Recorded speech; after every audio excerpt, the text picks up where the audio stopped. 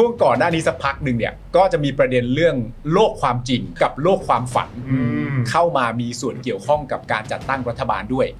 อาจารย์มองประเด็นนี้ไงอะตามผลโพลชี้ว่าสิ่งที่คุณบอกว่าโลกความจริงนั้น คะแนนของคุณลดลง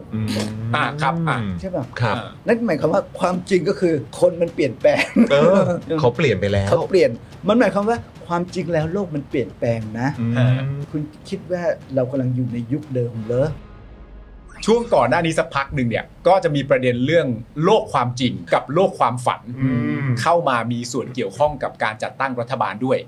ว่าเวลาจะมองอะไรก็ให้มองประเด็นเรื่องโลกความจริงบ้าง ถ้าอยู่มองโลอยู่กความฝันอย่างเดียวเนี่ยมันก็จะไปจบที่สุดท้ายแล้วคุณก็จะทำไม่ได้หรือไม่ได้อะไรเลยใช่ใช่ใช่อาจารย์มองประเด็นนี้ไงอะ ตามผลโพลชี้ว่า สิ่งที่คุณบอกว่าโลกความจริงนั้น คะแนนของคุณลดลงอืมอ่าครับอ่าใช่ป่ะครับอ่านั่นหมายความว่าความจริงก็คือคนมันเปลี่ยนแปลงเออเขาเปลี่ยนไปแล้วเขาเปลี่ยนครับแต่คุณคิดว่าของคุณคือโลกความจริง แต่คนเหล่านี้บอกว่าโลกความจริงนี้คือชุดนี้ เดี๋ยวเจอกันใหม่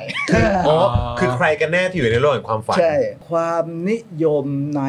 ก้าวไกลครับครับเป็นความนิยมเข้มข้นฮะอืม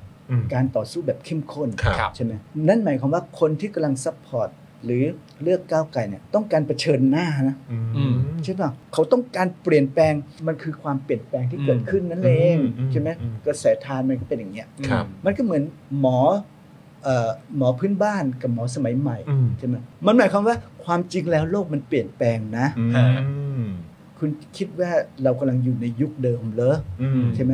เนี่ยเวลาคุยว่าอย่าอยู่ในโลกของความฝันเลยฝันอืมคนที่มักจะพูดอย่างเงี้ยมักจะเป็นคนแก่อ่าที่โอเคที่จะว่าคนหนุ่มๆสาวๆนะพวกคุณนะมีแต่ความฝันอ่าผมน่ะฝันมาก่อนคุณอืมอ่าแต่ตอนเนี้ยผมน่ะได้เจอความจริงอ่ารู้มาเยอะเห็นมาเยอะจนรู้ว่าอะไรมันได้อะไรมันไม่ได้ ผมเกาะเก้าอี้